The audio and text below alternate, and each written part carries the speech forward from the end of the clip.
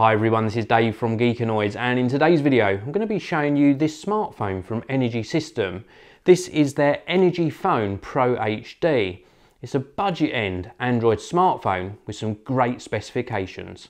Let's take a closer look. So here we go, this is the Energy Phone Pro HD and I wanted to share with you the initial unboxing of this as well as give you my opinion of this particular Android smartphone. Now this has got an octa-core processor running at 1.7 gigahertz. It's got a 5 inch HD IPS display. It's also got a 13 megapixel rear facing camera and a 5 megapixel front facing camera. It also supports dual SIMs as well and it comes with a 36 month or 3 year warranty. So quite a, a nicely specified smartphone. It isn't running the very latest version of Google Android, it is in fact running Google Android 4.4. But without further ado, let's get this unboxed and see what we get supplied.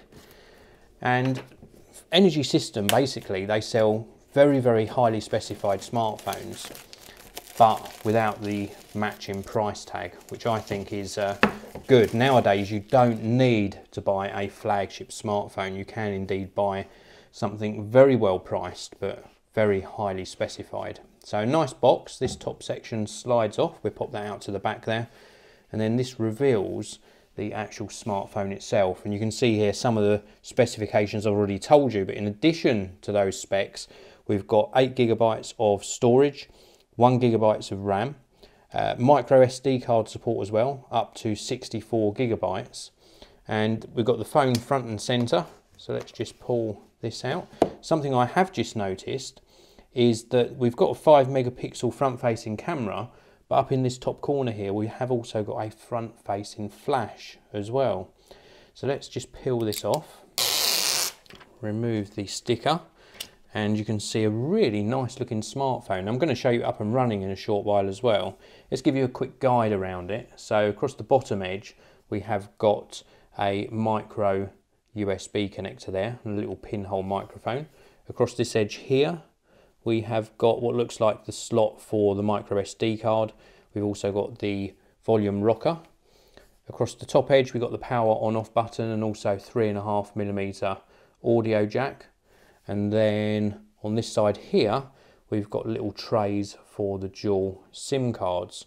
So I'm assuming you can't remove the back, which is fine. I'm not uh, worried about that, but the back looks really nice, nice white finish to it. Speaker down the bottom, secondary microphone, the 13 megapixel camera, and of course a flash on the back as well. So we take a closer look at the smartphone once it's up and running. Let's see what else we get supplied inside the box. So we can remove this packaging and we have got some uh, paperwork inside, quick start guide no doubt. And then we've got some extra sections here. So we've got a little box with a cable in. This is going to be the USB cable. And it's a nice flat cable. So that's really nice. So we've got full size USB to micro USB on the cable. And then we've got the charger.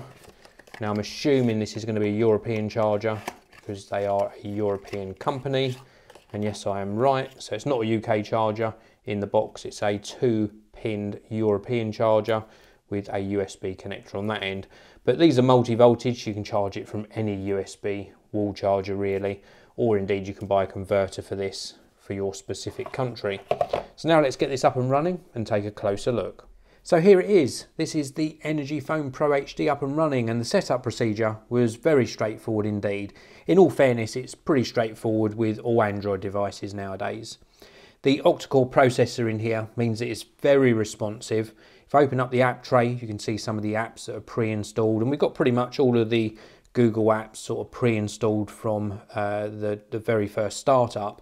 But don't forget, this is a Google Android Play Store supported device, so you can download pretty much any application that you want. Now, I've only used this for a few hours, but it seems super, super responsive. And the first thing I wanted to test was the camera. And it's a 13 megapixel rear facing camera.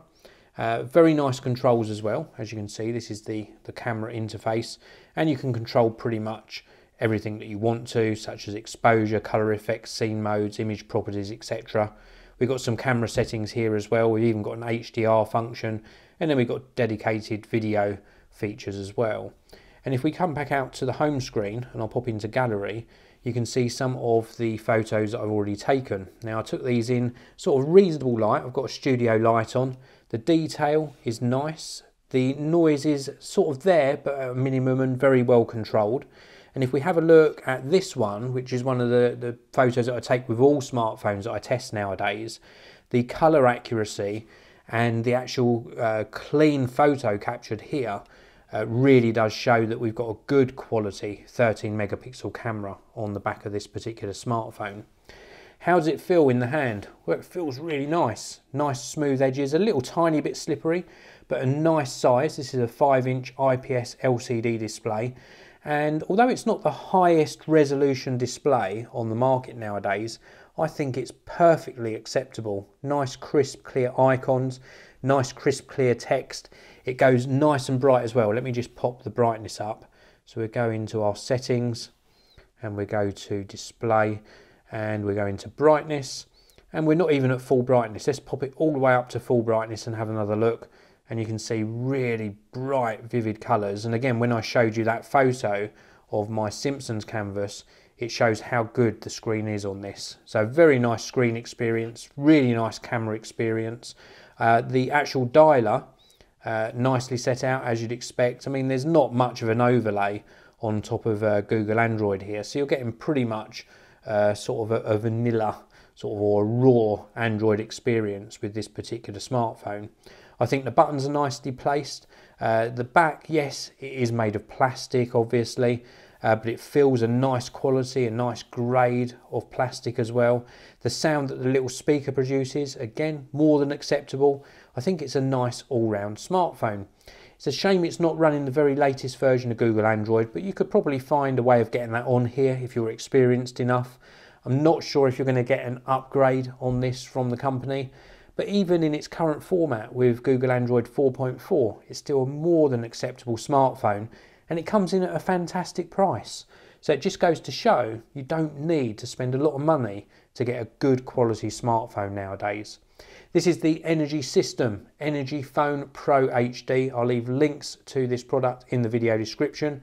If you've enjoyed this video as well, please do hit that like button. Let me know what you think of this particular smartphone and indeed the quality of those photos in the comments section below. Thanks for watching. I'll see you next time.